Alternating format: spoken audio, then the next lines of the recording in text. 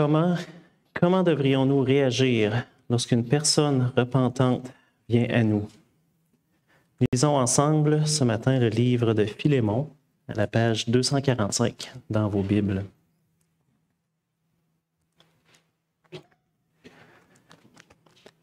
Paul, prisonnier pour le Christ Jésus, et le frère Timothée, à Philémon, notre bien-aimé compagnon d'œuvre, à Appia, notre sœur, à Archip, notre compagnon de combat, et à l'Église qui est dans ta maison.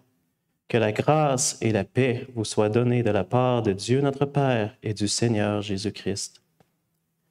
Je rends continuellement grâce à mon Dieu en faisant mention de toi dans mes prières, car j'entends parler de l'amour et de la foi dont tu fais preuve envers le Seigneur Jésus et pour tous les saints.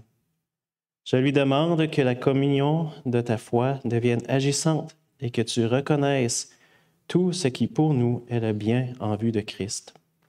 J'ai eu, en effet, beaucoup de joie et de consolation à cause de ton amour, car par toi, frère, le cœur des saints a été tranquillisé.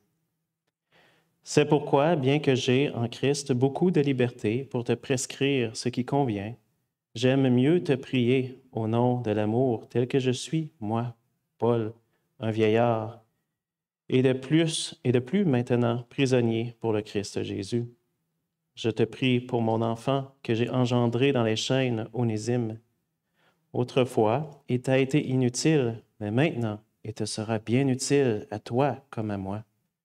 Je te le renvoie, lui qui est une partie de moi-même J'aurais désiré le retenir auprès de moi pour qu'il me serve à ta place pendant que je suis dans les chaînes pour l'Évangile. Mais je n'ai rien voulu faire sans ton avis, afin que ton bienfait n'ait pas l'air forcé, mais qu'il soit volontaire. Peut-être, en effet, a-t-il été séparé de toi pour un temps, afin que tu le retrouves pour l'éternité, non plus comme un esclave, mais mieux qu'un esclave, comme un frère bien-aimé, surtout de moi et combien plus encore de toi, selon la chair et selon le Seigneur. Si donc tu me tiens pour ton ami, reçois-le comme moi-même. S'il t'a fait quelque tort ou s'il te doit quelque chose, mets-le sur mon compte. Moi, Paul, je l'écris de ma propre main, je te le rembourserai, pour ne pas dire que tu te dois toi-même à moi. Oui, frère, que j'obtienne de toi ce service dans le Seigneur tranquillise mon cœur en Christ. C'est en me fiant à ton obéissance que je t'écris, sachant que tu feras même au-delà de ce que je dis. En même temps, prépare-moi un logement, car j'espère vous être rendu grâce à vos prières. Epaphras, mon compagnon de captivité en Christ Jésus, te salue, ainsi que Marc, Aristarque, Démas, Luc, mes compagnons d'œuvre. Que la grâce de notre Seigneur Jésus-Christ soit avec votre esprit. L'herbe sèche, la fleur se fane, mais la parole de notre Dieu subsistera éternellement. Amen. Prions juste avant de commencer. Oui, Seigneur Dieu, ta parole est bonne et euh, nous te prions que tu parles à nos cœurs ce matin, que tu euh, nous fortifies par euh, ton Saint-Esprit oui, Éternel, sois avec nous. Aide-nous à entendre ta parole et à l'appliquer dans nos vies. Nous t'en prions. Amen. Imaginez, imaginez vivre à Jérusalem avec l'Église primitive, que vous adorez Dieu aux côtés d'hommes pieux comme Étienne, et qu'un jour vous entendez parler de son arrestation et de sa mort violente. Saul commence à ravager l'Église. Il est si passionné dans sa haine des chrétiens qu'il les poursuit partout où il fuit. Saul est une terreur pour l'Église. Puis un jour, vous apprenez que Saul est de retour, prêchant l'Évangile de Jésus-Christ. Que faites-vous? Les actes des apôtres rapportent que l'Église le craignait, ne croyant pas qu'il fût un disciple, jusqu'à ce qu'un homme intervienne. Paul a vécu ce qu'il demande à Philémon de faire. Il lance un appel passionné à Philémon pour qu'il se réconcilie, car lui aussi eut le privilège d'être réconcilié avec ceux envers qui il avait fait tort. Dans les sept premiers versets, Paul pose les bases de son appel à Philémon. Tout est basé sur Christ, sa personne, la foi qu'il donne et la communauté de l'alliance dans laquelle Jésus nous fait entrer. Basé sur la fondation de Christ dans les versets 8 à 20, Paul expose son appel à Philémon. Son appel est simple et en même temps difficile recevoir Onésime comme un frère en Christ. Au travers cet appel de Paul, nous voyons que la réconciliation requiert l'humilité, vérité et transformation. Regardons ensemble cette humilité, vérité et transformation qui sont requis pour la réconciliation. Tout au long de sa lettre, Paul démontre de l'humilité. Il modèle pour nous et Philémon l'attitude requise pour la réconciliation. Souvenez-vous, il a déjà été dans la position d'Onésime. Il a fait l'expérience de la réconciliation avec ceux à qui il avait fait du tort. L'humilité de Paul est vue dans les versets 8 et 9, où il dit qu'il aurait pu prescrire à Philémon ce qu'il convient de faire. Mais au lieu de cela, il a préféré le prier ou faire appel à lui au nom de l'amour. Pourquoi? Souvenons-nous du contexte. Philémon n'est pas en rébellion. Dans les sept premiers versets, Philémon est décrit comme un serviteur fidèle du Christ.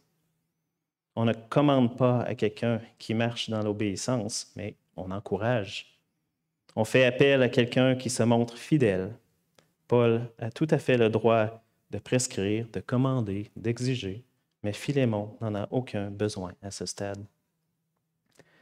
Paul démontre de l'humilité, une fois encore, au verset 13 et 14. Onésime est utile à Paul, mais il recherche le consentement de Philémon. Il s'agit d'une question sensible. L'esclavage était monnaie courante à cette époque, et Paul vivait au milieu de cette culture. Il aurait pu écarter le fait qu'Onésime était un esclave et lui permettre de rester avec lui. Mais dans un souci de réconciliation, il envoie Onésime vers Philémon.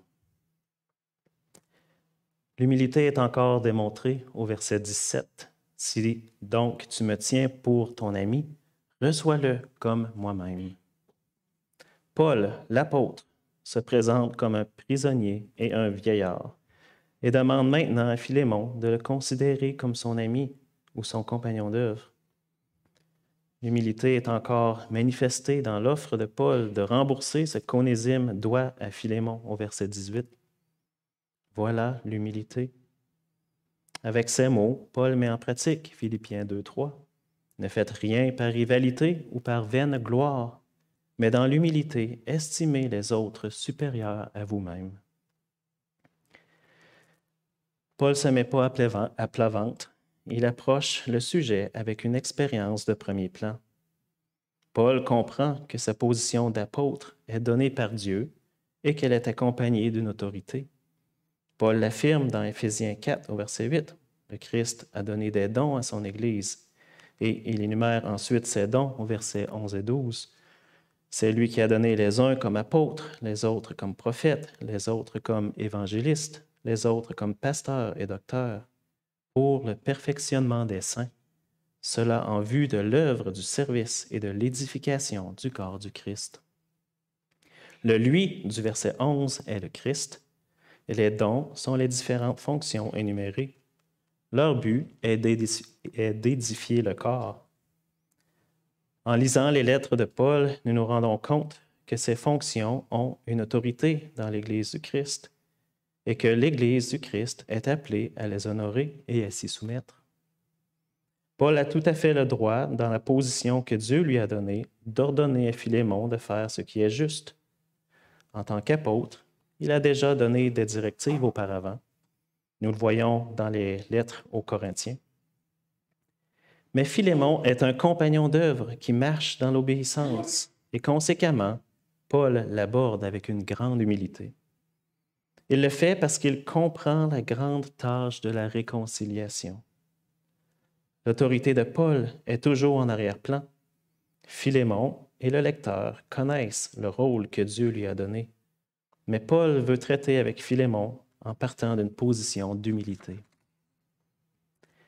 Il est comme un parent qui sait qu'il a le droit et l'autorité d'obliger son enfant à obéir, mais qui, par expérience, est prêt à laisser l'enfant obéissant choisir dans le but que cela le fortifie dans sa maturité. Il aborde le sujet avec humilité pour que Philémon fasse de même. Par son humilité, Paul demande essentiellement à Philémon et à nous, ferez-vous de même? Paul sait, que c'est, Paul sait ce que c'est que de faire face à ceux à qui il a fait du tort. Et c'est ce que c'est que de voir la peur et l'incrédulité dues à ses actions passées. Il demande à Philémon de répondre avec humilité en recevant à nouveau un frère dans la foi qui est repentant. Ça peut être très difficile quand on a été lésé. Notre chair nous dit que nous avons des droits et que justice nous est due. L'appel de Paul, en toute humilité, place la responsabilité de répondre sur Philémon. Philémon acceptera-t-il de subir un tort par amour pour Christ? Le feriez-vous? Philémon renoncera-t-il à son dû?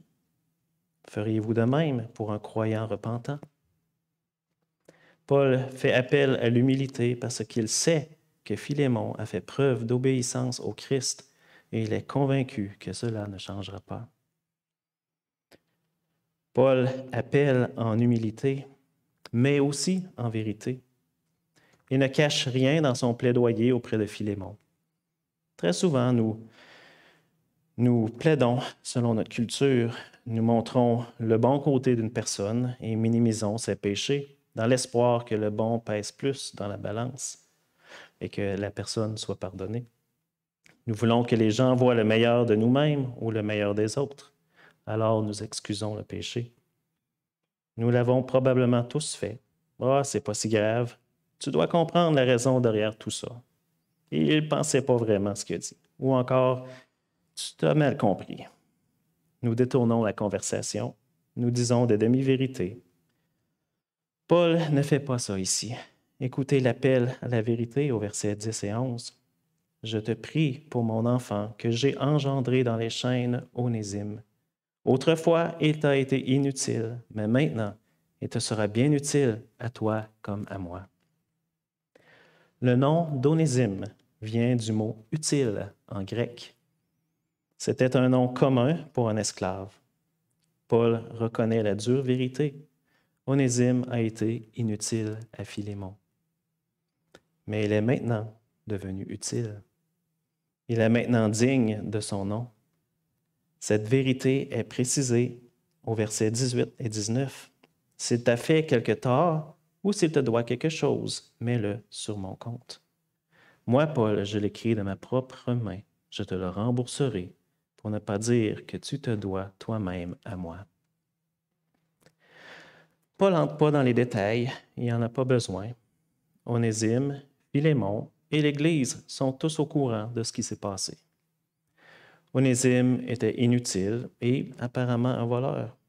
Paul reconnaît que Philémon a été lésé.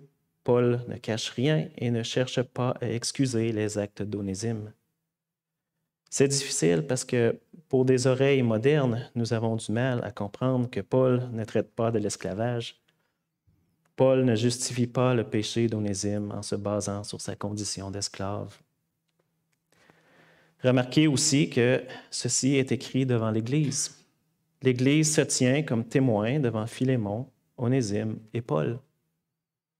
L'Église reconnaît l'accusation générale et l'Église connaît l'appel, l'appel de Paul. La communauté de l'Alliance sera témoin de tout ce qui va se passer. Il y a aussi un point important dans la promesse de Paul, un rappel de la grande dette de Philémon. Philémon et chacun de nous devons nous rappeler la grande dette que nous, que nous devons. Nous avions une dette impossible à rembourser. Nos péchés contre Dieu ne peuvent être remboursés par nous-mêmes. Nos péchés nous condamnent éternellement et nous n'avons aucun espoir sans Christ. Le Christ Jésus nous a rachetés de notre dette éternelle par son sang. C'est pourquoi Paul déclare dans 1 Corinthiens 6, au verset 19 et 20, Ne savez-vous pas ceci? Votre corps est le temple du Saint-Esprit qui est en vous et que vous avez reçu de Dieu, et vous n'êtes pas à vous-même, car vous avez été rachetés à grand prix. Glorifiez donc Dieu dans votre corps et dans votre esprit qui appartient à Dieu. Nous sommes la propriété de Dieu. Ce qui est intéressant avec Philémon, c'est que Paul revendique la vie de Philémon. Paul affirme-t-il avoir sauvé Philémon?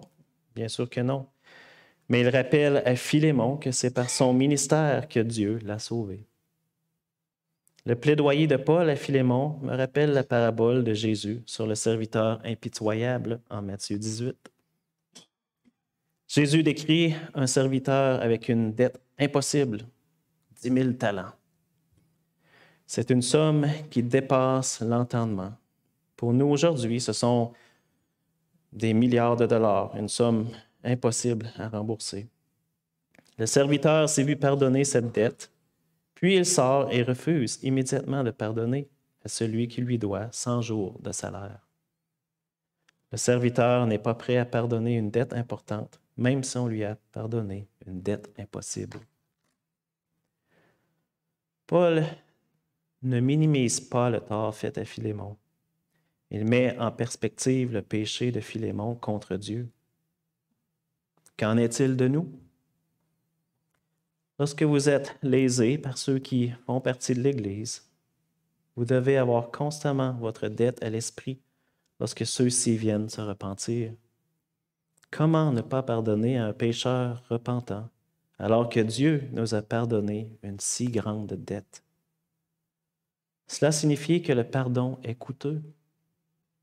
La partie offensée, dans l'humilité, accorde le pardon à la personne repentante et éprouve une perte par amour pour Christ. Il y a aussi le revers de la médaille. Nous ne devons pas seulement pardonner, nous devrons aussi nous repentir. Lorsque nous péchons contre d'autres personnes au sein de l'Église de Dieu, nous devons également nous souvenir de ce prix élevé. Puisqu'il nous a été pardonné une si grande dette, nous devons nous repentir rapidement. Puisqu'il nous a été pardonné une si grande dette, nous devons être prêts à reconnaître nos péchés et ne pas chercher d'excuses. Lorsque nous péchons les uns contre les autres, nous avons offensé celui qui a été racheté par Dieu. Nous avons donc offensé celui qui fait partie du corps du Christ. Nous avons donc offensé Dieu lui-même. Lorsque nous péchons, nous blessons le corps du Christ. La force qui nous pousse à pardonner et à nous repentir, c'est Christ. Paul fait appel à Philémon par l'humilité car il veut que Philémon fasse ce qui est juste selon le Christ et non selon Paul. Paul fait appel avec vérité, car il désire que Philémon saisisse ce qu'il doit pardonner et ce qu'il a reçu. Enfin, Paul lance un appel fondé sur la transformation. Philémon a été lésé et Paul demande à Philémon de pardonner à un croyant repentant. Paul ne vient pas au nom de l'onésime que Philémon a connu, mais au nom de l'onésime que le Christ a transformé. Nous voyons cela dès le verset 11. Celui qui était inutile est devenu utile.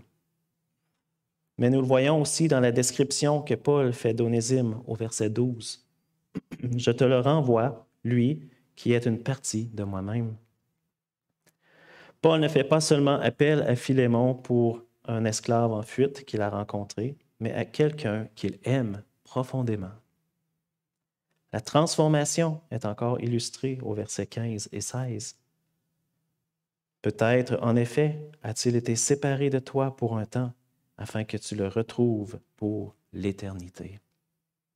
Non plus comme un esclave, mais mieux qu'un esclave, comme un frère bien-aimé, surtout de moi, et combien plus encore de toi, selon la chair et selon le Seigneur. Paul décrit le salut. Il déclare que Philémon doit retrouver Onésime pour toujours comme un frère bien-aimé et dans le Seigneur. Tout cela indique qu'Onésime a fui Philémon en tant qu'incroyant et que Paul le renvoie maintenant en tant que croyant. Paul veut aussi que Philémon entende la grande vérité de la providence de Dieu. Dieu a permis qu'Onésime s'enfuit et fasse du tort à Philémon, afin qu'Onésime soit sauvé et revienne à Philémon comme un frère bien-aimé. Il y avait un plus grand dessein ici. Paul le souligne en déclarant qu'Onésime est utile à la fois dans la chair et dans le Seigneur. La transformation d'Onésime par Dieu est une transformation totale. Il est utile à Paul et à Philémon dans tous les sens du terme. À cet instant, faisons une petite pause et parlons d'une question embêtante. Onésime était l'esclave de Philémon. Paul ne fait-il que lui rendre un esclave fugitif? Je crois qu'avec la formulation du verset 16, Philémon n'aurait pas pensé que c'était ce que Paul faisait. Les paroles de Paul ont élevé Onésime. Il était un esclave, mais maintenant il est un frère bien-aimé. Surtout pour Paul, mais d'autant plus pour Philémon. On ne peut pas justifier le fait de traiter un frère bien-aimé comme un esclave. Paul demande à Philémon non seulement d'effacer la dette d'Onésime, mais aussi de l'élever à un statut supérieur à celui d'un homme libre celui de son propre frère. Se conformer véritablement à cet appel signifie la fin de l'esclavage. L'appel de Paul est basé sur le fait qu'Onésime a été transformé par l'Évangile. Il est un croyant repentant. Comment savons-nous? Parce que l'épître de Paul aux Colossiens indique clairement qu'Onésime est revenu chez eux. L'esclave prodigue revient à la maison dans l'espoir d'être accueilli comme un frère bien-aimé. Pensez au courage et à la foi que cela a dû demander. Pensez au grand risque couru par Onésime. Il était un fugitif jusqu'à ce que Philémon le rétablisse ou le libère. Philémon n'a pas affaire à un pécheur endurci, mais à quelqu'un qui est prêt à faire confiance à la puissance de l'Évangile en lui-même et dans le Maître qui l'a lésé. Philémon est face à un humble croyant qui cherche le pardon, et il est lui-même appelé à le recevoir humblement par un homme qui a humblement fait face à une Église qui l'a persécuté. Si vous vous êtes repenti de vos péchés, vous connaissez le grand défi qu'Onésime a dû relever. Si vous avez déjà pardonné, vous connaissez le grand défi que Philémon a dû relever. Aucune des parties n'est capable de, se réconcilier avec Dieu par lui-même. Le seul espoir qu'ils ont est Christ. Philémon a besoin du Christ pour accepter humblement de perdre et d'élever celui qui, humainement parlant, n'en est pas digne. Humainement parlant, Philémon avait tous les droits de faire arrêter Onésime. Paul demande à Philémon de renoncer à ses droits et, pour l'amour du Christ, de donner à Onésime ce qu'il ne mérite pas. Onésime doit être prêt à retourner et à subir les conséquences qui l'attendent. Il doit reconnaître son tort devant Philémon et l'Église. Aucun des deux hommes ne peut faire cela tout seul. Aucun des deux ne peut, en lui et de lui-même, faire sa part sans l'Esprit de Dieu qui agit en lui et en l'autre. Lorsqu'un conflit survient, chercherez-vous à le résoudre par la puissance du Christ ou par vos propres moyens? Seul l'Évangile nous permet de pardonner aux pécheurs repentants parce que nous reconnaissons la transformation opérée en eux et en nous par Jésus-Christ. Accepterez-vous d'éprouver une perte afin de pardonner à un croyant repentant? Seul l'Évangile nous permet de nous repentir vraiment de nos péchés, parce que nous sommes transformés par Jésus-Christ et ainsi capables de voir les résultats dévastateurs du péché. Reconnaîtrez-vous votre péché et en accepterez-vous les conséquences afin de recevoir le pardon? Saul était un ennemi passionné de l'Évangile que Jésus a transformé en Paul, un apôtre chargé de proclamer le ministère de la réconciliation en Jésus. Vous et moi, ainsi que tous ceux qui proclament suivre Jésus, sommes appelés à nous réconcilier avec les autres croyants. Cela ne pourra se faire que par la puissance du Saint-Esprit agissant en nous. Chercherez-vous humblement à pardonner et à vous repentir? Chercherez-vous à vivre dans la vérité? Voulez-vous vivre selon la puissance transformatrice de l'Évangile et vous réconcilier les uns avec les autres? Amen. Prions ensemble.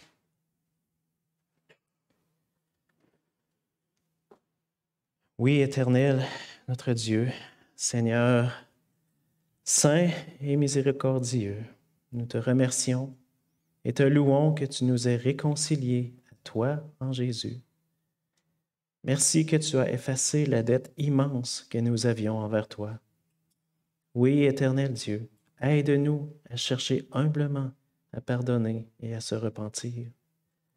Que ton Saint-Esprit continue d'agir en nous afin de vivre dans la vérité et selon la puissance transformatrice de l'Évangile que nous puissions garder ta parole dans nos cœurs afin d'être remplis de paix, de joie et de reconnaissance envers toi. Amen.